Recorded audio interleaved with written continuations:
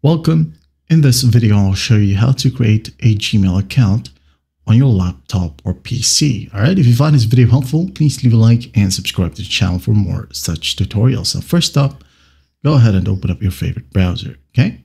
I'm just going to open up my Brave browser right here, and then I'm going to type in gmail.com. All right, hit on enter. And then once done in here in this page, just click on create account, okay? Click on it. Now go ahead and choose either personal use for my child or for work or my business. Okay. I'm just going to go ahead and choose for my personal use. Click. Then go ahead and type in your first name. Okay. For example, Ryan.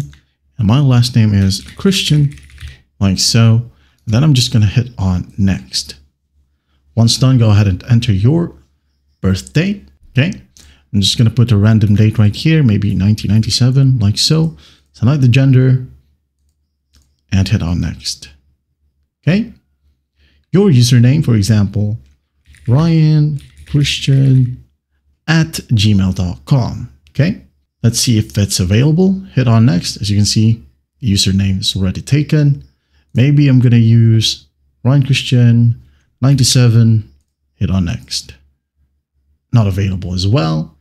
Maybe Ryan Xchen like that hit on next. There you go.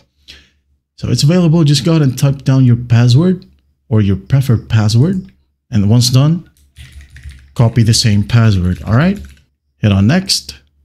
As it states here, you'd need to scan the QR code using your phone. And this is for security purposes. As you can see here, this will help keep you and others safe online by preventing abuse from computer programs or bots. As you can see here, I have my phone here we have the QR code. I'm just going to go ahead and open up my Google app. If your phone is relatively new, you can go ahead and use the camera app directly.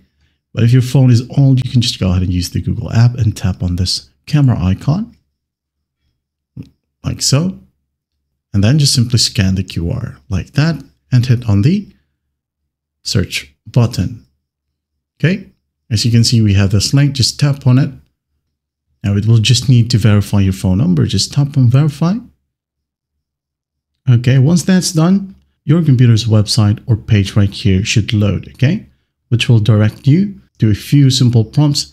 Just click on next and next, and once done, you're good to go. As you can see here, it's uh, infinitely loading because my specific phone number right here got four Gmail accounts, okay? My phone or my phone number already got four Gmail accounts and do keep in mind that Gmail right here will only allow you to create four Gmail accounts on one phone number. Okay, that's the only limit. And uh, there you have it. That's basically how you create a Gmail account on a laptop or PC. Well, I hope this video helps and I'll see you in the next one.